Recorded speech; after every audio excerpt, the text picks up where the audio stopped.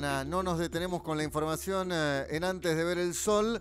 Y a esta hora lo vamos a saludar a Juan Manuel Baroto, que es el presidente de Coradir Sociedad Anónima, una empresa que está en San Luis, pero que también trabaja en otros lugares de la República Argentina y que en los últimos días uno recorre los distintos portales, los diarios y aparece Tito.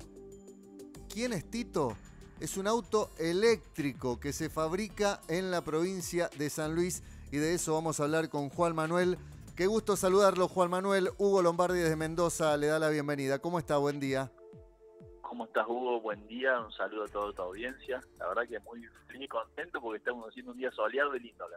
Ah, pero lindo y soleado. Bueno, acá tenemos eh, temperaturas bajo cero. Cuando comenzamos, no sé, a esta hora estábamos 4 grados bajo cero. Bastante frío, pero con, eh, con el solcito que empezará a calentar eh, en un ratito. Juan Manuel, Coradir, ¿qué tipo de empresa es? ¿A qué se dedican? Bueno, Coradir es una empresa de alma netamente electrónica. Nosotros hacemos este, productos, de, nació como en la informática y después fue, digamos, migrando hacia la electrónica y hace ya más de 25 años que hacemos este, electrónica en general. Fabricamos muchos productos de consumo, no sé, este, desde computadoras hasta decodificadores de TDA, este, televisores, microondas, tenemos una variada gama de productos, hacemos más de 250 productos.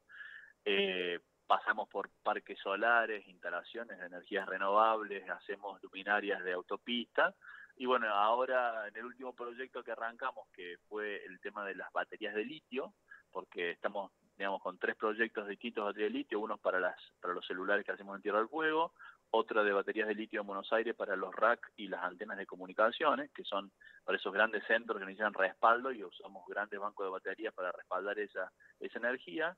Y la tercera línea de trabajo era para movilidad eléctrica. La idea de Coradir este, es poder fabricar las baterías de todos los productos de movilidad eléctrica de la Argentina de los próximos años. Movilidad eléctrica se entiende por monopatines, bicicletas, motos y hasta autos. Entonces, como veíamos que esta industria de los coches venía muy retrasada, comenzamos a trabajar en un diseño de referencia para que todos los autopartistas de la Argentina tuviesen una solución tecnológica a nivel, digamos, motor, baterías y electrónica del coche para poder usarlo para su para diseñar sus modelos. Y bueno, ese diseño siguió creciendo hasta que resultó en un modelo completo un coche y un prototipo que ya tenemos acá en San Luis, que es el prototipo del Tito, que bueno, tanto furor está haciendo en las redes sociales y en las noticias en general. ¿Por qué se llama Tito? Eh, Tito nos pareció un nombre gracioso, te digo, nosotros acá hicimos tormentas de ideas en un montón de personas pero, este, ensayando un montón de nombres para el modelo y en uno en una de esas tantas pruebas y ensayos que hacemos aparece en la gráfica el nombre de Tito y la verdad que nos encantó, nos pareció simpático, gracioso, representa la idiosincrasia del auto, que es un coche pequeño, ágil, moderno, este, que no contamina, que es amigable con el medio ambiente, y bueno, nos gustó y ha pegado muy bien, porque todos los periodistas me, me dicen que les gusta y que por qué el nombre. ¿Qué características tiene este vehículo? Bueno, Tito fue pensado como eh, netamente un coche de ciudad, coche de ciudad que sea pequeño para que haga un aprovechamiento del espacio público, sobre todo que las ciudades se tienden a concentrar y gran cantidad de gente, eh, este coche, que es un coche de ciudad, tiene está pensado a una velocidad máxima de 65 kilómetros por hora, que es una velocidad que para moverse en la ciudad es más que suficiente. Y lo que sí tiene, que por ahí se diferencia un poquito del resto de los city cars diseñados en el mundo, es que nosotros le pusimos una autonomía mínima de 100 kilómetros, cuando en el resto del mundo se suele usar 50. Pasa que en la Argentina las ciudades son más, un poco más extensas que en el resto del mundo, acá estamos menos apretados, entonces hace de que la gente que se mueve en una ciudad necesite por ahí una distancia un poquito más elevada que en el resto del mundo, y con estos 100 kilómetros que nosotros le damos autonomía, se asegura de que la persona, digamos, es muy, muy raro que una persona en un día, moviéndose en un coche de ciudad, tenga que hacer más de 100 kilómetros. Entonces la idea es justamente que el coche te simplifique todos los movimientos del día y que cuando vos llegas a tu casa a la noche, lo enchufás a la, al digamos, enchufe domiciliario que vos ya tenés en tu casa sin hacer ninguna obra, sin, sin contratar más energía ni nada, y el coche se carga durante la noche, igual que como cargas tu celular. A ver, ¿sería que uno llega y lo enchufa a un toma 220 y está cargando el vehículo? El toma estándar que vos ya tenés. El Tito gasta menos que un caloventor que una pava eléctrica. Así que, digamos, estás tranquilo de que vos llegás a la noche a tu casa, en la cochera, en ese enchufe que ya tenías, lo pones ahí y al otro día cuando te despertás el coche ya está otra vez 100% cargado y listo para, para transportarte sin ningún problema. ¿Cuántas horas más o menos necesita la, la carga?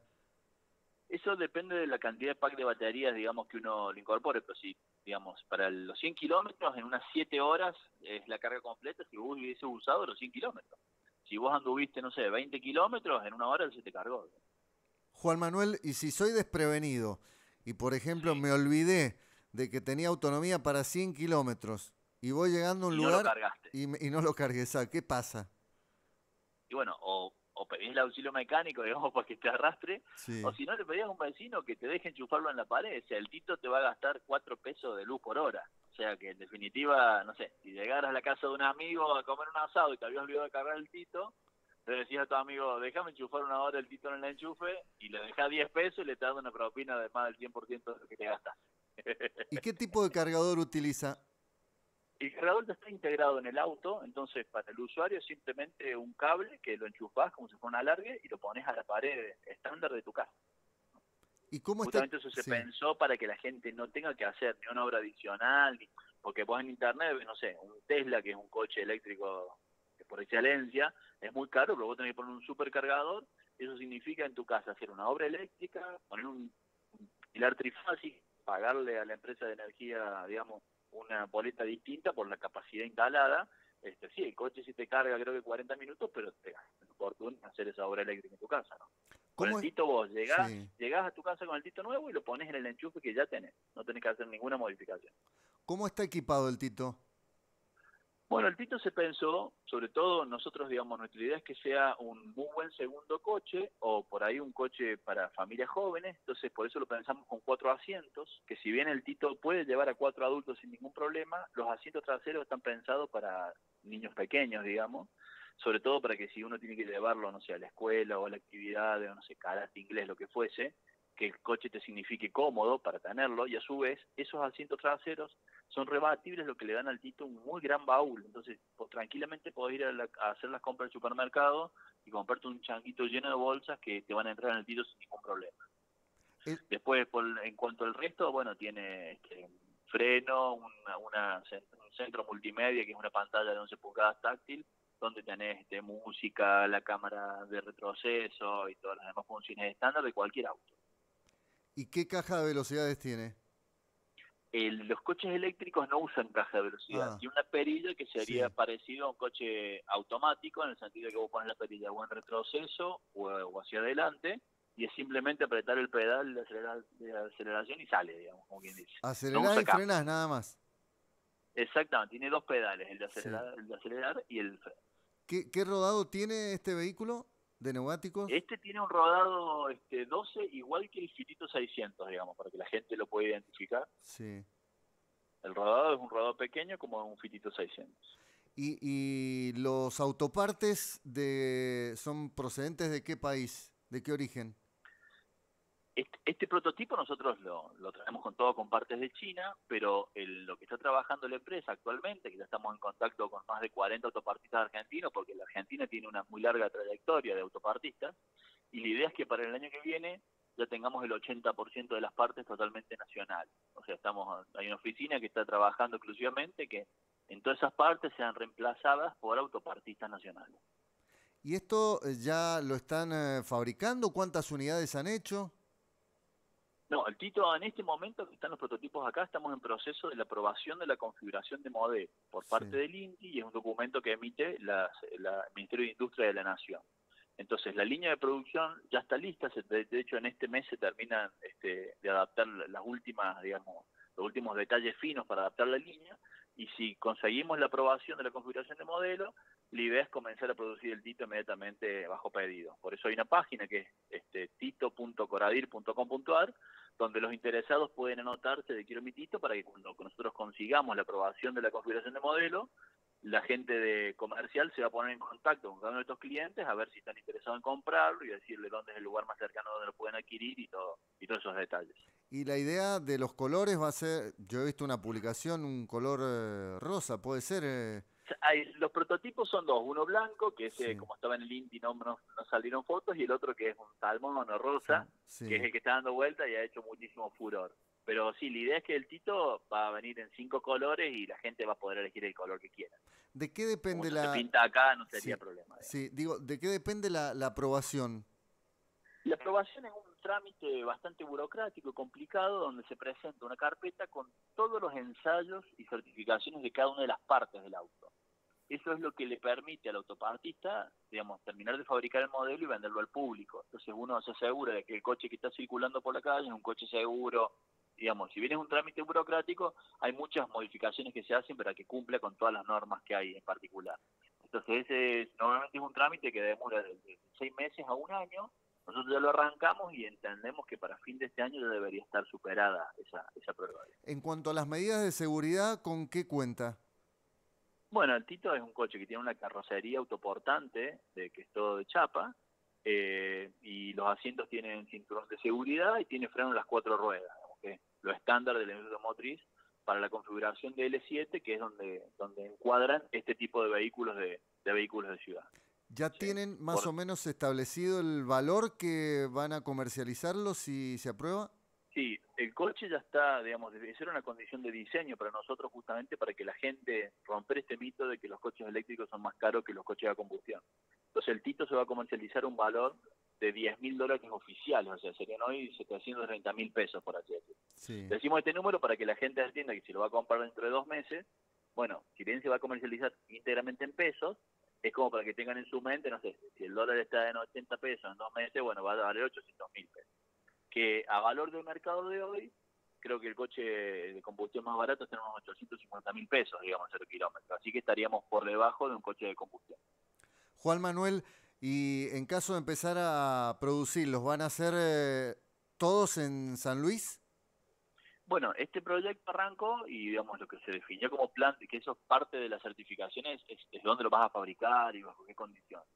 Nosotros tenemos en San Luis una- la, la casa matriz de la fábrica y tenemos una planta de 5.000 metros cuadrados que hoy por hoy, por estos devenires de la industria, estaba bastante ociosa desde el punto de vista de la utilización y se, y se arrancó con un proyecto donde la, la, la, la línea de ensamble terminal de estos vehículos, este modelo Tito, va a ser acá en la planta de San Luis. ¿Y cuántos creen que pueden producir por mes? Eh, nosotros en esta línea podríamos hacer hasta 250 coches por año sin este sin ninguna ampliación de línea. Tenemos la posibilidad de poner otra línea al lado, o sea que podríamos llegar a hacer 500 coches por año sin problema. Va a Ah. depender obviamente de la demanda ¿no? y, la, y, el, y, el, y lo que la gente le guste el Tito. ¿no? Sí, y, y van a tener que incorporar personal o con la gente que ya trabaja Sí. alcanza? No, para una sola línea deberíamos incorporar 40 nuevos puestos de trabajo, va a generar esta, esta primera línea de producción de sea, si logramos aprobación de la configuración de modelo, significaría en esta planta 40 nuevos puestos de trabajo. ¿Qué expectativas tienen? Imagino que ya han empezado a recibir llamados de, de la gente.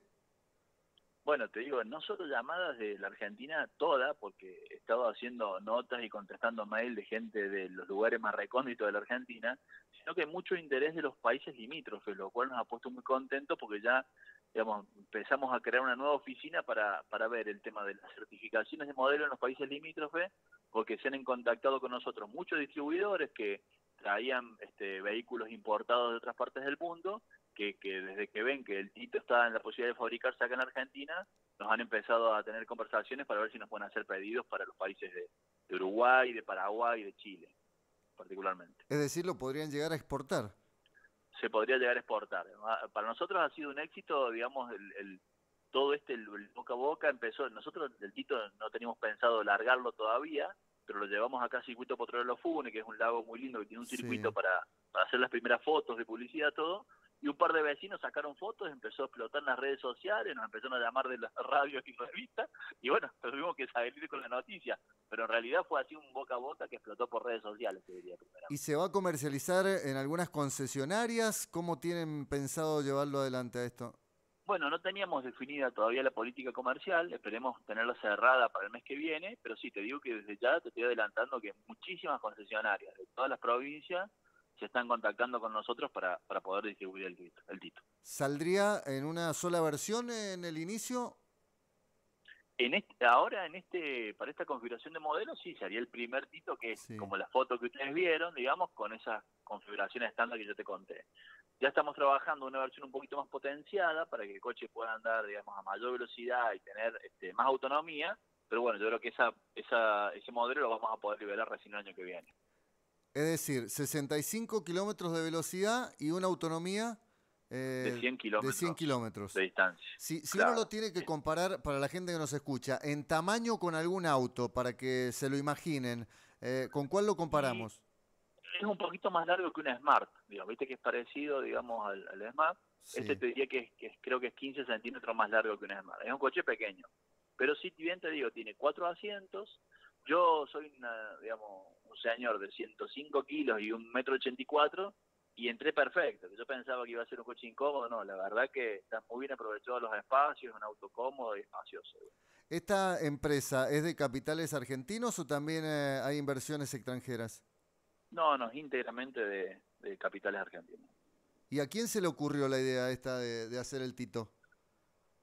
En realidad, yo te cuento, nosotros veníamos trabajando en el proyecto de, baterías de litio por, el tema de que como la Argentina tiene Zamora de litio, uno de los pocos países que, podría desarrollar toda la cadena de litio completa, eh, entendemos que para poder, digamos, desarrollar el mercado de las baterías de litio, bueno, es la demanda. Y por eso fue que comenzamos primero a trabajar en un diseño de referencia para que los fabricantes de autos lo tomen y ya arranquen el trabajo a mitad de camino este, y poder hacer sus propios modelos pero bueno, como veíamos que todavía venía demorado y, esto de la pandemia, digamos, iba a hacer que se demoren más los proyectos, terminamos desarrollando un, auto completo y por eso tenemos los prototipos acá, ¿no?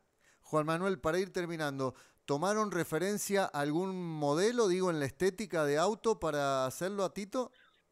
Por ahí, como nosotros venimos de la electrónica y la informática, lo que hicimos distinto a la industria automotriz estándar, por decirte, es el chasis es un chasis automotriz este, chino que se comercializa en más de 20 marcas distintas, lo utilizan. Es como decirte un chasis genérico. No es que vinimos a fabricar, no, no diseñamos específicamente la forma del auto.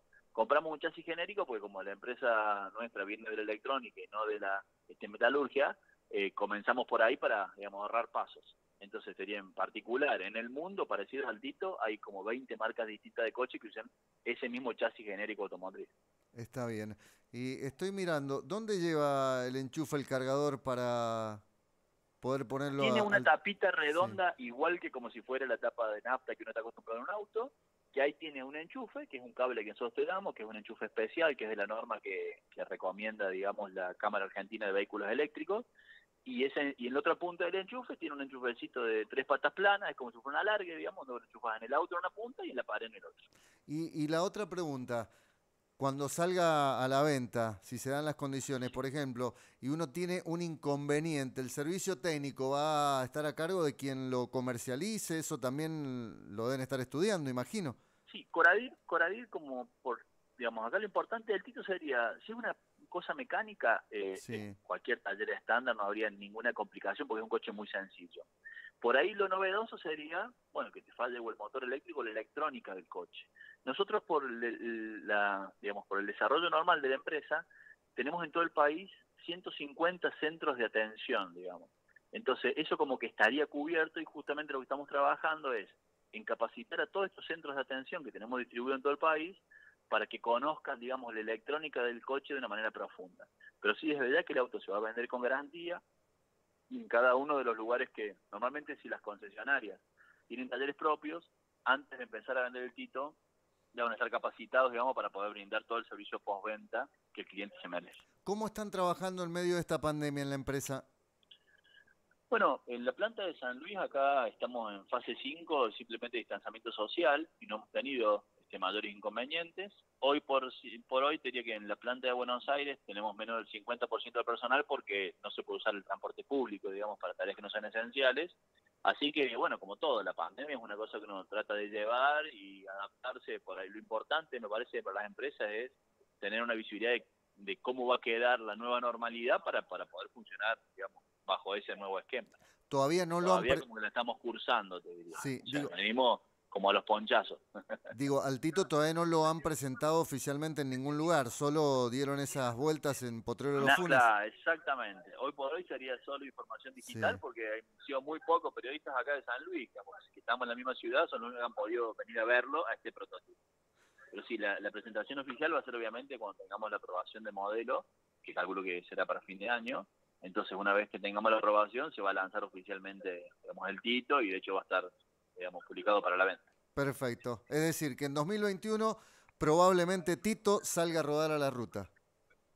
Esa es la idea. En realidad es pensado como un coche de ciudad, ¿no? Sí. Le recomendamos a la gente que lo use en las ciudades. Sí. Bueno, Juan Manuel, ha sido un gusto poder charlar con usted y le agradecemos su atención. Igualmente, Hugo, ha sido un placer y quedo a sus enteros servicios. ¿eh? Bueno, gracias. Muy generoso, gracias. Hasta cualquier momento. Eh, estábamos charlando con eh, Juan Manuel Baroto, que es presidente de la empresa Coradir, que está en San Luis, pero que también tiene otros puntos de la República Argentina donde trabajan. Tito, ya lo van a ver, está publicado. Ustedes ponen Tito en Google y les va a aparecer inmediatamente el prototipo que ya estuvo recorriendo algunos lugares de Potrero de los Funes y se fabricaría en la provincia de San Luis, 10 mil dólares. Si el dólar no se dispara, costaría algo de 730 mil pesos hoy, con una autonomía de 100 kilómetros y una velocidad máxima de 65 kilómetros por hora, es decir, un auto de ciudad. 9 de la mañana, 53 minutos.